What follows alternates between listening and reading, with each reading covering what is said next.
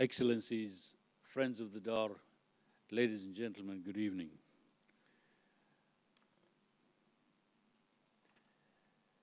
With the first lecture of the new year, Dar al-Athar Islamiyya wishes you a happy and productive 2019. This opening of a new year is also the opening here at the Dar's auditorium of a new approach to the study of culture and development. How culture and cultural heritage make an impact on challenges to society as well as sustainable development. This is especially vital to Kuwait since we have experienced an internal, an intense and rapid series of events, technologies, and ideas that have impacted our heritage and its development, sustainable or not. Professor Markus Hilgert is the Secretary General and CEO of the Cultural Foundation of the German, German Federal Study, States, a specialist in ancient Near Eastern studies. He was previously professor for ancient Near Eastern studies, Assyriology, at Heidelberg University from 2007 to 2014 when he became director of the ancient Near Eastern Museum at the Pergamon Museum in Berlin. Professor Hilgert is the coordinator of the National Transdisciplinary Research Alliance, ILLICID, focusing on illicit traffic with cultural property in Germany, funded by the Federal Ministry of Education and Research. He was the founding director of the Heidelberg Center for Cultural Heritage at Heidelberg University and the Center for Digital Cultural Heritage and Museums at the Prussian Cultural Heritage Foundation. Professor Hilgert was the coordinator of the national program entitled Digital Strategies for the Museum of the Future. Under the auspices of the Federal Commission, or Commissioner rather, for Culture and Media. He is a member of several governing bodies and advisory boards, including the Foundation Board of the International Alliance for the Protection of Heritage in Conflict Areas uh, since 2017, 2017, and the Disaster Risk Management Committee of the International Council of Museums since 2017, and the German Lost Art Foundation since 2018. If I continue to list our speakers' many academics and professional achievements, there will be no time for his discussion. Suffice it simply to say that he, is, he has contributed much to the understanding and protection of cultural heritage and its relationship to culture. Professor Hilgert has received several awards for his academic achievements and holds honorary professionalships at the universities of Heidelberg, Marburg, and Berlin. Tonight, Professor Hilgert will be speaking about the fascinating and important study in a lecture entitled Why Culture Matters, the impact of culture and cultural heritage on social challenges, or societal challenges, and sustainable development. Sustainable development is no joke,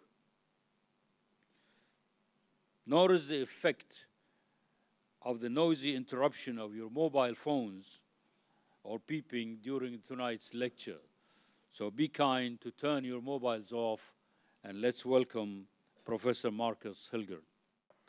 Good evening, ladies and gentlemen, excellencies, Herr Botschafter. I'm very pleased to be here tonight. I'm honored by your presence, and I would like to thank Her Highness Sheikha Hussa Al Sabah for her generous invitation to come to Kuwait. It's my first time in Kuwait, and I'm amazed by the beauty of the city and the friendliness and hospitality of its citizens. Tonight, I want to talk about culture, but not culture as high culture, but how it contributes to our life, how it contributes to social cohesion and sustainable development. And obviously, I'll be doing this from a German perspective, or let's say from a European perspective. And I'd be very interested to see what you have to say on the matter. So I'm very much looking forward to our discussion at the end of my presentation. I will try to make four arguments. I will be talking about four different topics. The first will be something that I call the cultural turn in politics. My second point will be research for culture and what it contributes to the impact of culture. I will also talk about current challenges to research for culture and then, in the end, talk about shared stakeholder responsibility. Let's start with what I term the cultural turn in politics.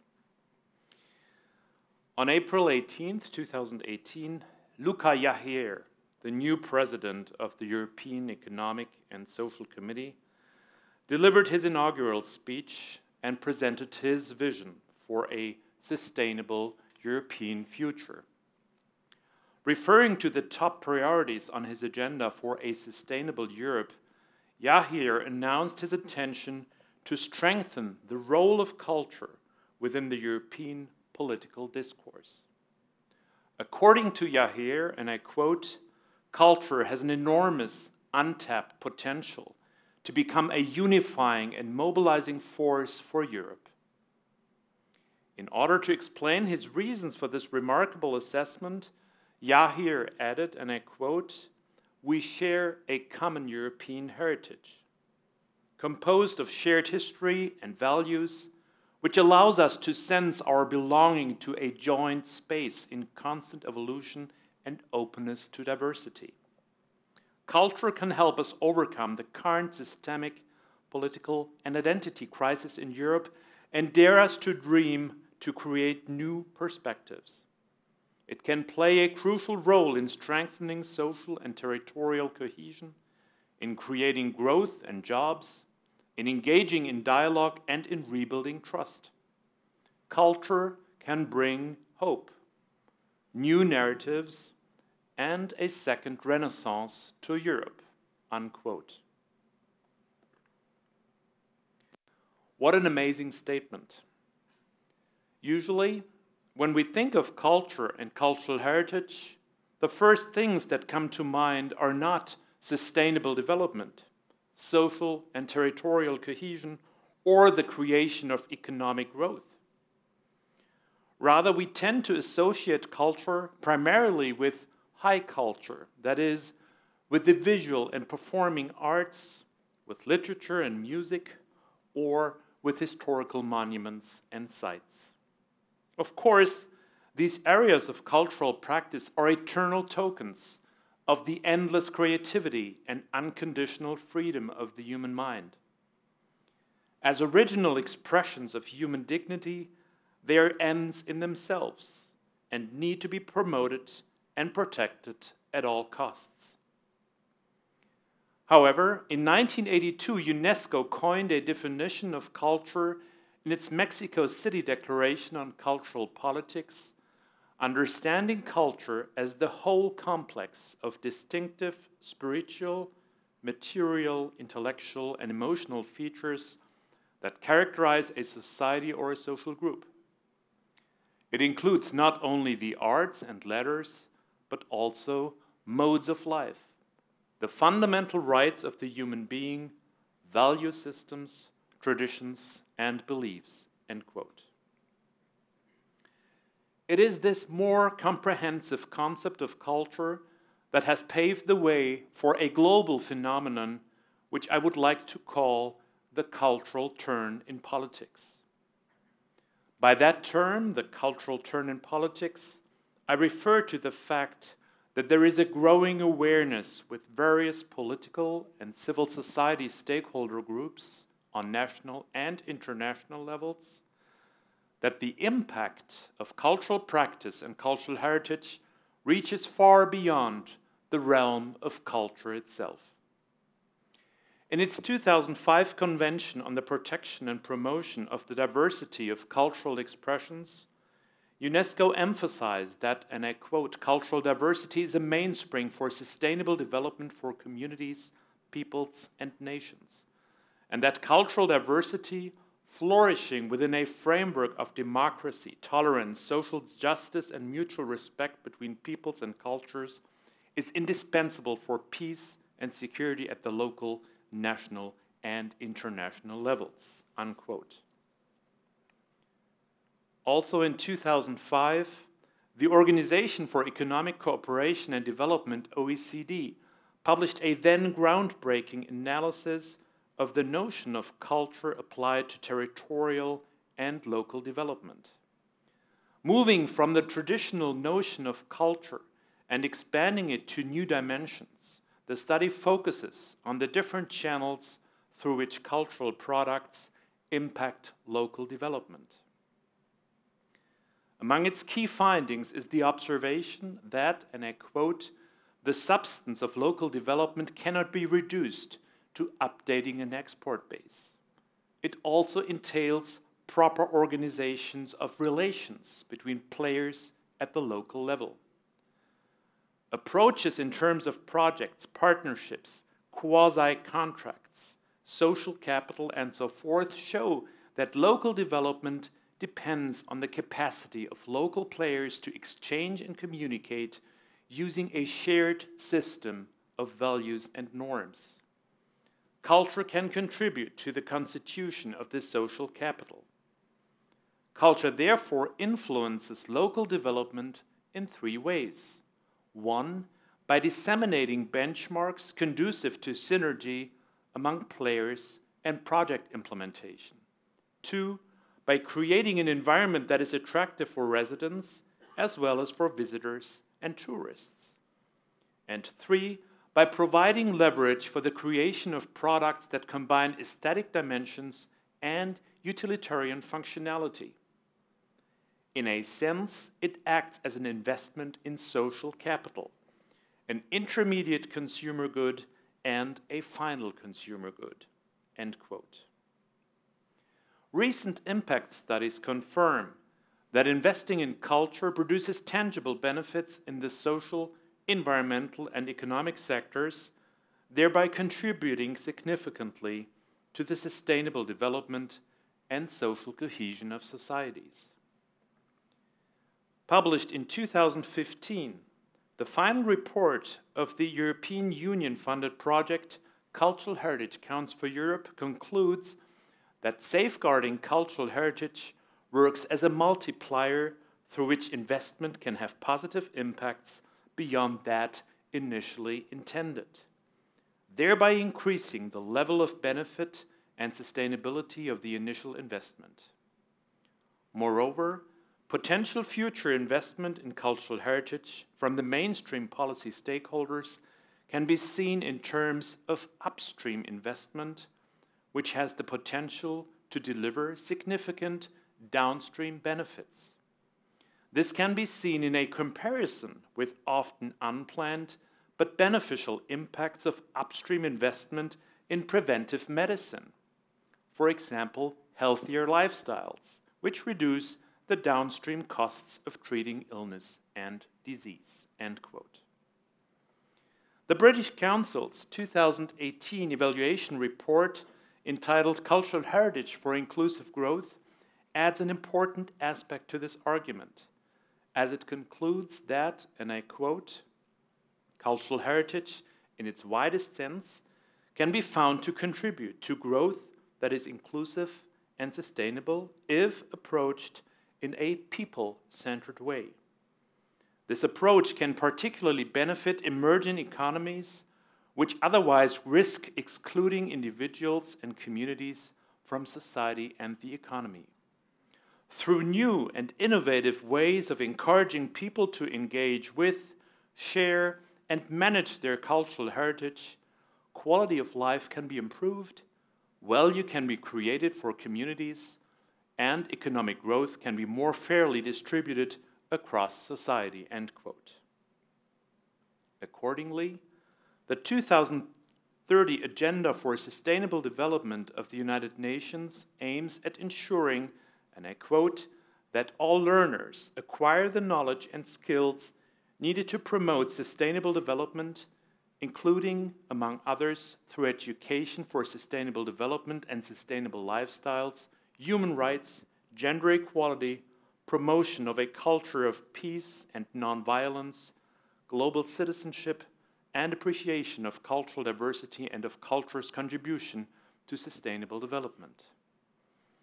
In the very same spirit, the 2016 EU Strategy for International Cultural Relations focuses on advancing cultural cooperation with partner countries across three main strands supporting culture as an engine for sustainable social and economic development, promoting culture and intercultural dialogue for peaceful intercommunity relations, and reinforcing cooperation on cultural heritage. End quote.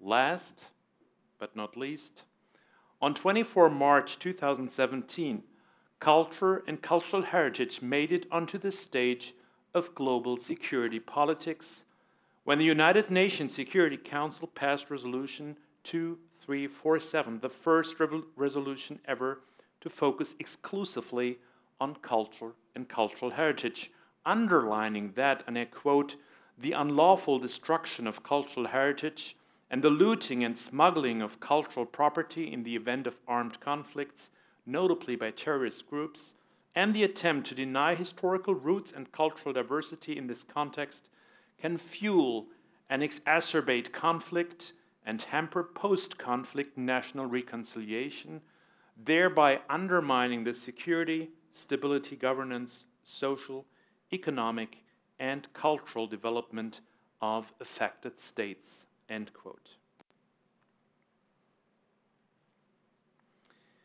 Combining these notions, observations, and findings, it appears to be the case that culture does indeed matter and have a significant impact even beyond the realm of culture itself. There can be no doubt that what we have been witnessing in almost all areas of policy making is a cultural turn that acknowledges culture as a powerful agent of social change. However, what is less obvious is why culture matters and how its long term effects on security, social stability, governance, and economic development may be analyzed and measured. In fact, one might argue that we still know too little about the intrinsic nature of cultural practices and the various ways in which they impact social and political processes, and that, as a consequence, significantly more research is necessary research on culture and research for culture. Let me briefly elaborate on this. Scholars, like myself, especially in the humanities and social sciences, are keenly aware of the fact that cultural practices, as well as their immaterial and material expressions, are invariably based on knowledge. Frequently, this knowledge directly derives from or is informed by research. For instance, think of cultural practices in literature or the performing arts. It is impossible to conceive of them as independent from research in various fields of science. At the same time, it is the immaterial and material expressions of cultural practice that may constitute additional evidence for existing research questions or trigger the formation of new academic fields. Ancient Near Eastern studies The area of my own academic expertise is a good example in this context. What we know today about the cultural practices and its material expressions in ancient Mesopotamian societies, and of course, Kuwait is part of this historical continuum. What we know about ancient Mesopotamian societies, we know by way of fundamental research in cuneiform studies and ancient Near Eastern archaeology. In turn, the knowledge generated through this basic research informs and enriches current cultural practices in universities, museums, and other cultural institutions. In other words, there is a mutually conditional relationship between research and culture. I tend to think that the close interdependence between culture on the one hand and research on the other is not acknowledged adequately in either sector, nor does it receive the political attention it deserves given the recent cultural turn in both domestic and foreign politics and policy making. This is all the more surprising, as there can be no doubt that research is indispensable not only for the creation, marketing, and dissemination of numerous cultural products, but also for the documentation, analysis, preservation, and protection of material and immaterial cultural heritage. By definition, this research for culture is cross sectoral and encompasses such diverse topics as the historical background of a novel, the painting techniques of contemporary artists, the scientific analysis of archaeological objects, the documentation of choreographies, the management of cultural heritage sites, or disaster risk assessment. Pertinent research designs may be disciplinary, interdisciplinary, or transdisciplinary, depending on the research question. With an increased political appreciation of culture as a facilitator of sustainable development and peaceful relations, the demand for research for culture surges dramatically and acquires significant urgency.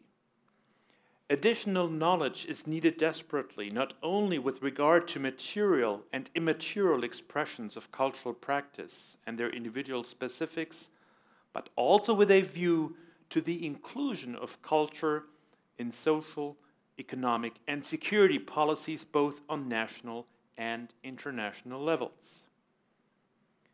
In addition, there can be no doubt that the effective transfer of culture into other core sectors of society and assessing the impact of this transfer through meaningful indicators will be among the key areas of research for culture in the near future.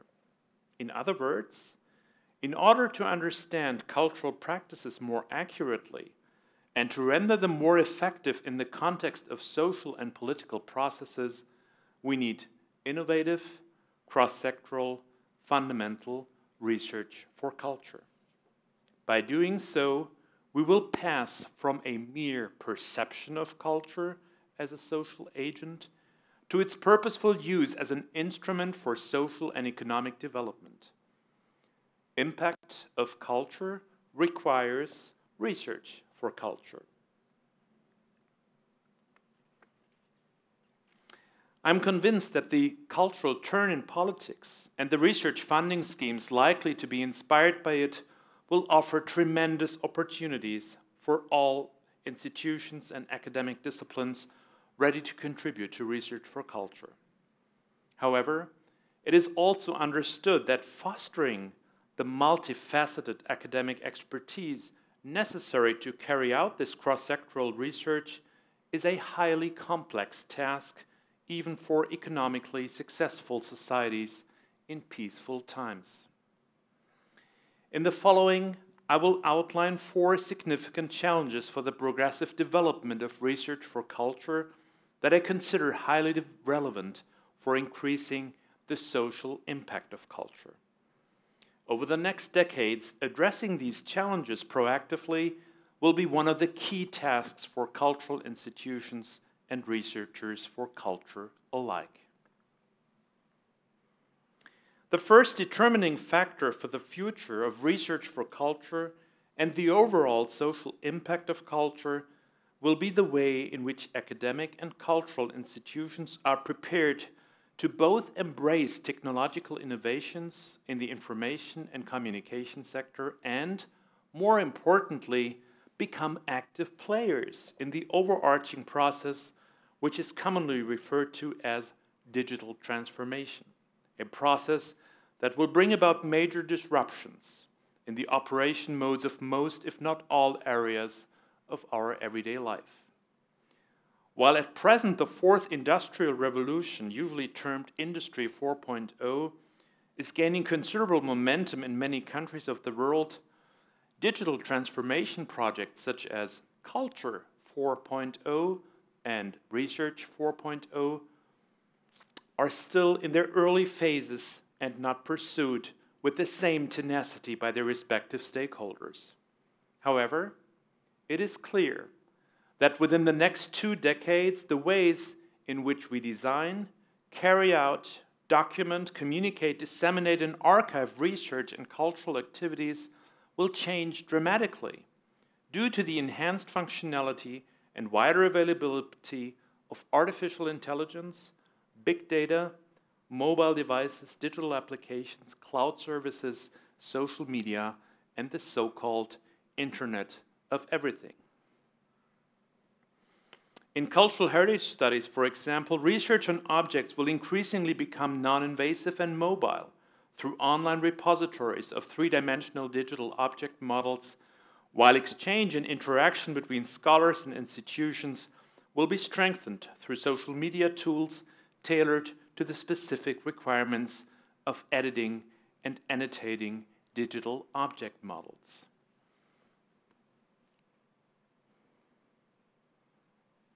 The more precise and metrically accurate these object models are, the more useful they will be for the preventive documentation, conservation, and restoration of monuments and museum collections.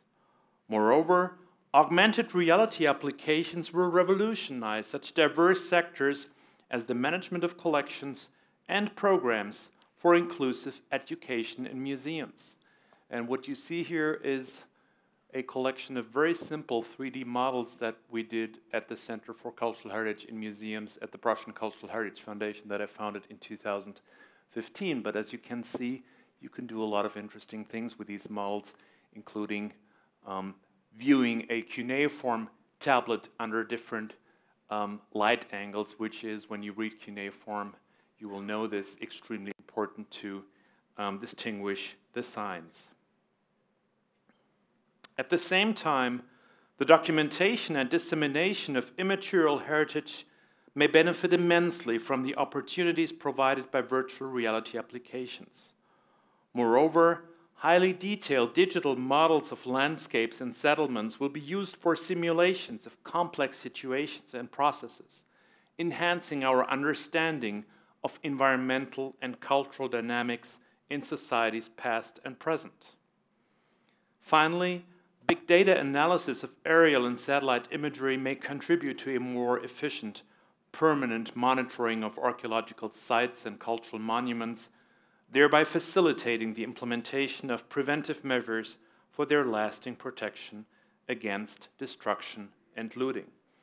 And what you're seeing here does not have to do with destruction and looting, but is a 3D model of a cuneiform tablet that has one peculiar feature, and the feature is that it has been inscribed again and again, and there have been erasures and signs that were written on top of these erasures. When you look at the cuneiform tablets, it, it's in the collection of the Engineers Museum at the Pergamon Museum, you don't really recognize this.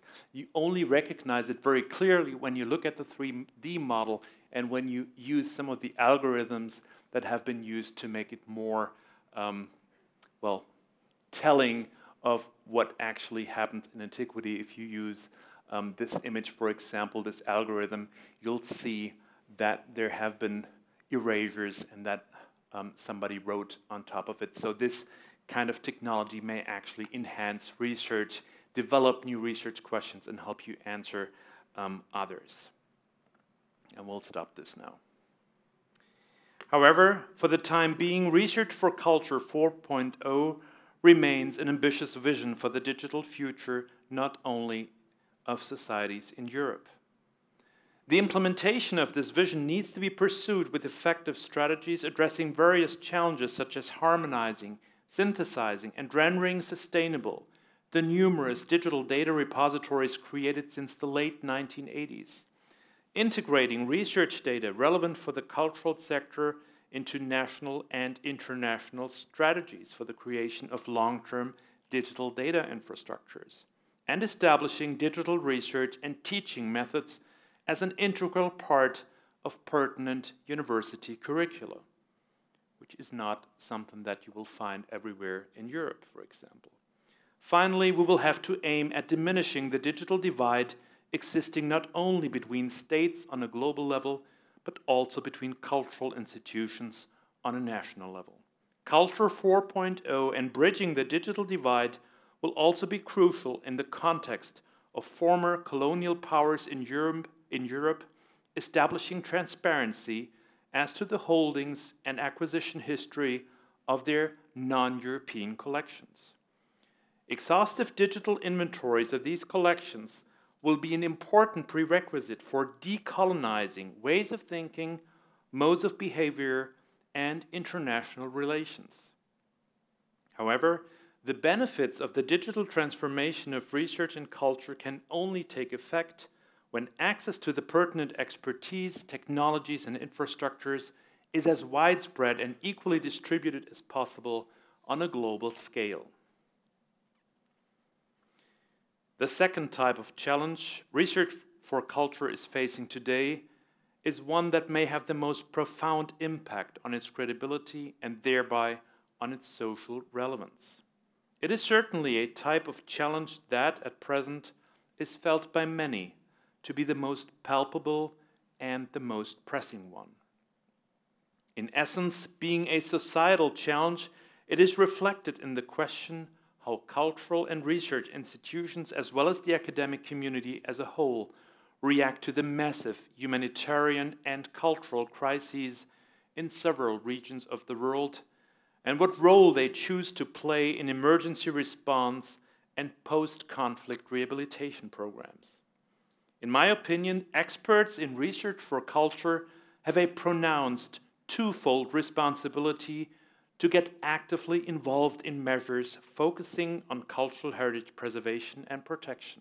One, the destruction and looting of archaeological sites, museums, archives, and libraries immediately affects the core of countless academic disciplines as it damages, diminishes, and displaces their very research subjects. And two, protecting the material and immaterial heritage of humanity and creating environments in which this heritage can benefit local communities and foster cultural diversity cannot be achieved without the knowledge and experience of scholars, as argued earlier.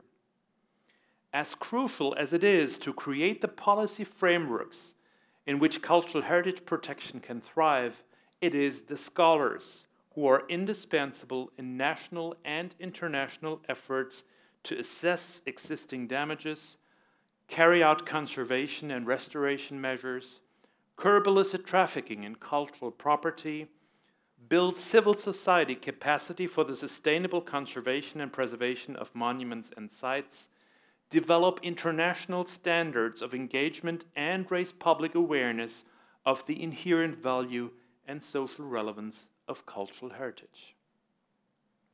However, scholars with expertise pertinent to research for culture are not necessarily specialists for fighting organized crime or for staging awareness raising campaigns. Moreover, given the already sparse human and infrastructural capacities typical of many relevant disciplines and institutions, how can they provide the additional capacities that are required to design, assist in, or carry out corresponding programs. I strongly believe that these considerable obstacles must not dishearten us, but should be seen and treated as a unique opportunity for research for culture and the pertinent academic disciplines to expand their topical and methodological scope and to increase their social relevance and public visibility. This unique opportunity derives from the fact that protecting cultural heritage in situations of conflict and building capacities for a sustainable preservation of cultural heritage in times of peace are tasks for which many academic fields, not only in the humanities, possess a considerable inherent potential for the transfer into society of their research results and expertise. By doing so, the pertinent disciplines follow the distinct call by society and politics for an innovative kind of research that addresses overall society, societal challenges and therefore possesses a specific transformative power, a call that at least in Europe has been growing louder, growing louder and more vigorous over the past decades in all areas of science and research. Yet, especially within the humanities, there is an ongoing heated debate whether this call for research activities oriented towards societal issues and favoring the transfer and application of research results is justified and in line with the treasured principle of freedom of research. My own thinking on this is very clear. As the global challenges to the sustainable development of humanity become more evident, as many regions of the world face the consequences of climate change, social inequality, and violent extremism without adequate mitigation or protection mechanisms, publicly funded research must not close its eyes against these challenges, but attempt to develop ethical frameworks and research strategies enabling them to address these challenges not as a substitute for, but in addition to the basic research they have been carrying out traditionally. Considering the sustained large scale threat to the integrity of the world's cultural heritage, the academic community is called upon to team up with non academic experts and various stakeholder groups in order to design and carry out transdisciplinary research projects aimed at strategies, policies, and instruments for the sustainable conservation and preservation of cultural heritage. In this context, I consider the International Alliance for the Protection of Heritage in Conflict Areas, ALIPH, a most promising initiative for an innovative public private partnership aiming at the sustainable protection of cultural heritage. Established in 2017 at the initiative of France and the United Arab Emirates, and immediately joined by private partners as well as other states such as Kuwait and Saudi Arabia, ALIPH has the potential to set new standards in the area of research driven transdisciplinary action for culture. The third type of challenge that research for culture is up against in most European countries is of a structural nature.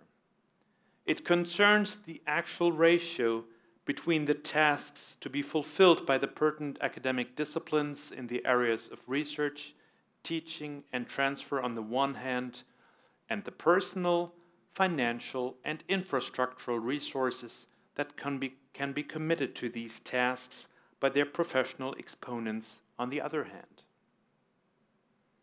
Frequently, Research for culture is carried out by so called rare disciplines or small disciplines, which means that the available resources are usually sparse, if not precarious, and that the concerned disciplines and the bodies of knowledge contained therein are prone to extinction or serious incapacitation when individual teaching positions or facilities disappear. In addition, we can often observe distinct asymmetries on a global level in the availability and number of individuals and public institutions dedicated to research and teaching in these small academic fields. Think of my own field, Assyriology or Byzantine studies or Egyptology or papyrology. Many more examples could be quoted in this context. It has always been a considerable challenge to drum up political support for academic fields that have virtually no potential to thrive outside of universities and other research institutions. Given the high numbers of students and the relatively low number of teachers, in many of the more sought after disciplines with a broader array of post degree career opportunities, it does take very good arguments to convince the president of a university to invest in a field where the average class does not have more than 10 participants. In several countries, including Germany, this has led to intensified efforts to develop political concepts for monitoring and promoting rare and precarious disciplines on a national level. However, so far there is no reasonable answer to the crucial question what the minimal infrastructural requirements might be to keep a rare or small academic disciplines operational and innovative. In addition, existing global asymmetries within many precarious disciplines have not led to any palpable response on an international level. And this brings us directly to the fourth and last challenge to research for culture that I would like to address here. Increased political and financial support for research for culture and the cultural sector as a whole might be much easier to obtain if the impact of culture on the well being, social cohesion, and sustainable development of communities could be measured accurately and spelled out in numbers. Even though, as demonstrated earlier, there is now a broad consensus that culture is a relevant factor in social, economic, security, and climate policies, as well as in corresponding measures on national and international levels, quantifying this factor is largely still impossible. This lack of quantitative data attesting to the material equivalent of culture in other areas of social practice is a challenge to research for culture that is both a methodological and an existential one. It is a methodological challenge in the sense that adequate methods for a precise assessment or even measurement of the impact of culture still have to be developed and tested. At the same time, I call this challenge an existential one because without such methods and reliable impact indicators, the recent cultural turn in politics will most likely not lead to the required political and financial investments in the further development of cultural institutions and research for culture. The cultural turn in politics would thus remain a mere claim and an un unfulfilled promise for the cultural sector. One important area of research for culture relevant in this context is the creation or stimulation of impact.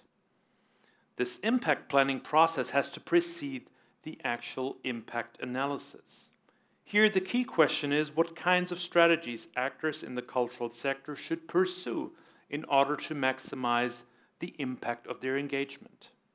Generally speaking, there is a three tier approach to planning impact. One, identify needs and challenges.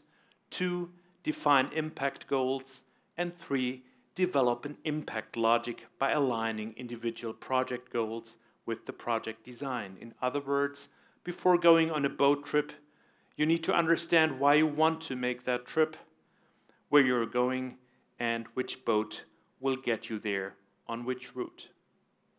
Against this strategic backdrop, fundamental research for culture is necessary in order to adapt this overarching approach to specific scenarios within cultural pro projects and to refine the individual steps of the planning process accordingly. At the same time, transdisciplinary research is just as crucial when it comes to the analysis of impact in the cultural sector. Here, the approach consists of four individual steps. One, prepare for the impact analysis. Two, develop indicators. Three, gather data. And four, evaluate and analyze data. Methodologically speaking, this area of research for culture is the most challenging one as developing indicators and gathering meaningful data for the impact of cultural engagement is an extremely complex endeavor.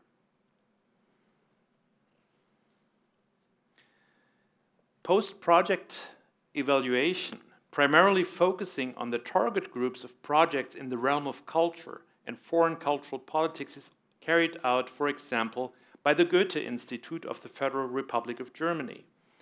Evaluation methods employed successfully by the Goethe Institute are invariably qualitative and include the actor network theory, world cafes, social network analysis, situation analysis, and mental maps. In addition, a much more systemic, systematic approach, UNESCO published a Culture for Development Indicators Methodology Manual in 2014. The study introduces a comprehensive set of 22 quantitative and qualitative indicators grouped under seven dimensions, which set out to illuminate the role of culture in development, particularly in low to middle income countries. These culture for development indicators aim to provide an evidence based and informed approach to the introduction of culture into national and international development strategies, as well as to cultural policy formulation. In spite of these and many other attempts to develop indicators and measures for the impact of cultural activities and financial investments in culture, detailing accurately and in hard numbers what and how culture does in fact contribute to peace, social cohesion, and economic development is a goal still to be reached. This holds true even for highly successful cultural development programs such as the European Capital of Culture competition established in 1985 following an initiative by Melina Mercouri and Jack Lang. Commissioned by the European Parliament's Committee on Culture and Education, an evaluation report on the success strategies and long term effects of the European Capital of Culture program concludes, and I quote, impacts upon the host city's existing cultural system and future plans for cultural activity are the most prolific areas of reported beneficial impact from European capitals of culture. Benefits include projects that continue beyond the hosting year increased collaboration and networking between cultural providers, and increased capacity and ambition within the sector. However, there is a significant absence of real evidence relating to the social impact of European capital of cultures, probably due in part to the relatively diverse nature of work that is targeted towards social impacts and the relative cost of undertaking significant fieldwork to explore such a field of activity. Unquote. To put it in a nutshell, let me repeat what I said earlier. There is no doubt today that culture does matter significantly beyond the realm of culture. However, why it matters, how it matters, and what methods might yield reliable impact indicators remain questions still to be answered by research for culture. As a conclusion, I would like to summarize my line of argumentation and propose three recommendations designed to promote research for culture and thereby strengthen the impact of culture. I have tried to demonstrate that over the last four decades, there has been a massive reappraisal and revaluation of culture in the social and political spheres, which I have termed the cultural turn in politics. This cultural turn in politics is reflected in the claim that cultural practices and the cultural objects have a palpable impact outside the cultural sector, and that investing in culture produces tangible benefits in the social, environmental, and economic sectors, thereby contributing significantly to the sustainable development and social cohesion of society. In a second step, I have argued that the mutually conditional relationship between culture on the one hand and knowledge and research on the other has been traditionally underestimated, and that innovative cross sectoral research for culture is indispensable if we want to pass from a mere perception of culture as a social agent to its purposeful use as an instrument for social and economic change. Impact of culture requires research for culture. In the third and last step of my argument, I have identified four current challenges to research for culture that I consider relevant for increasing the social impact of culture. One, the digital transformation of our societies. Two, the massive threat to cultural diversity and cultural heritage posed by conflicts and crisis. Three, the precarious state of many academic fields relevant for research for culture. And most importantly, four, the methodological difficulties in establishing indicators and processes for an accurate assessment or measurement of the social and economic impact of cultural activities. If we agree that culture is the fabric of social cohesion and the rhythm of sustainable development, it must be the task of all pertinent stakeholders to acknowledge these considerable challenges and to deal with them in a constructive manner. Specific responses need to be given by both the academic community and by those who create and implement the policies governing research and culture. However, let us make no mistake. The more resilient research for culture turns out to be in the face of these challenges, and the more successful its exponents are in embracing rapidly advancing technologies, social political transformation processes, and not least the need to demonstrate impact, the stronger will be the political determination to sustain and promote the pertinent academic disciplines and the entire cultural sector in the future. Without knowledge, there is no culture, and without culture, there is no society. Therefore, if we want to strengthen the appreciation and impact of culture beyond the realm of culture, we need to do three things. One, raise public and broader political awareness of the power of culture as a catalyst for peaceful international relations, social cohesion, and sustainable development. Two, expand the expertise, infrastructures, and capacities of cultural and research institutions to acknowledge and integrate these additional dimensions of cultural activities. Three, promote, finance, and carry out the cross sectoral and transdisciplinary research necessary to create the required knowledge base. Committing substantial human and material resources to the implementation of these measures would by no means be a luxury, but an indispensable investment in the future of our planet. Thank you for your attention.